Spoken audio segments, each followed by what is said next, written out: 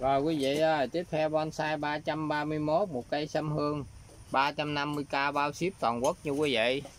Quan ship code lại chuyển khoản ha. Rồi 350 nha.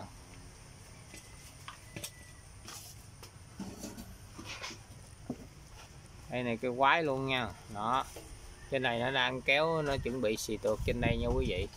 Mà cây này nếu mà nó cái chỗ này nó không xị quý vị lấy cái đọt dại này nè, áp vô trong này là nó dính liền cái khắc với cái loại gọt này cũng được mà ép vô đây kéo về ép vô đây.